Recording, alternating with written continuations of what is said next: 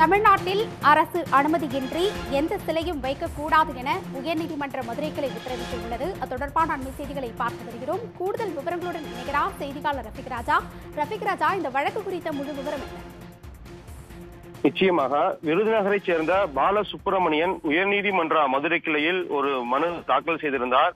அந்த மனுவில் விருதுநகர் அம்மாச்சிபுரத்தில் தியாகி இமானுவேல் சேகரனுடைய சிலை வைக்கப்பட்டுள்ளது. இந்த சிலைக்கு வைப்பதற்கு அரசு உரிய அனுமதி வழங்க வேண்டும் என வழக்கு தாக்கல் செய்திருந்தால் இந்த வழக்கை விசாரணை செய்த அஹ், தனி நீதிபதி அரசின் அனுமதி இல்லாமல் சிலை வைக்கக்கூடாது. எனவே தற்போது வைக்கப்பட்டுள்ள இந்த சிலையை அகற்றி பாதுகாப்பான இடத்தில் வைக்க வேண்டும். பின்பு அரசின் அனுமதி பெற்ற பின்பு இந்த சிலையை வைக்கலாம் என ஒரு உத்தரவு பிறப்பித்திருந்தார். இந்த உத்தரவை எதிர்த்து உயர்நீதிமன்ற மதுரை கிளையில் பாலசுப்ரமணியன் மேல்முறையீடு செய்திருந்தார். அதாவது தனி நீதிபதியுடைய உத்தரவை ரத்து செய்து முறையான அனுமதி வை அனுமதி வழங்க உத்தரவிட வேண்டும் என்று மனு தாக்கல் செய்திருந்தார்.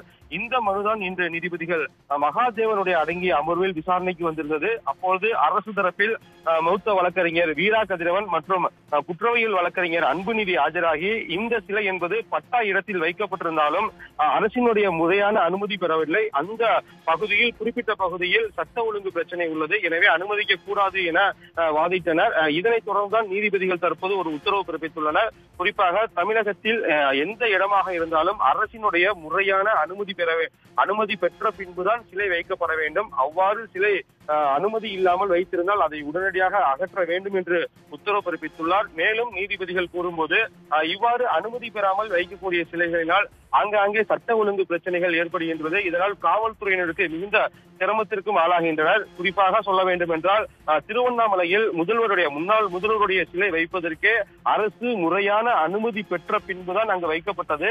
அவ்வாறு இருக்கும் பட்சத்தில் அனுமதி இல்லாமல் சிலை வைக்கக்கூடாது. எனவே இந்த இமானுவேல் சேகரனுடைய சிலை வைப்பதற்கு மனுதாரர்கள் அரசை அணுக வேண்டும். அதன் அடிப்படையில் அரசு உரிய உத்தரவை பிறப்பிக்கலாம் என்று கூறி தற்போது வழக்கையும் ஒத்திவைத்துள்ளார்.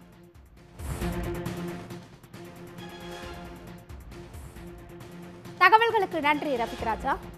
உடனுக்குடன் செய்திகளை தெரிந்து கொள்ள சன் நியூஸ் பெல் ஐக்கான கிளிக் பண்ணுங்க.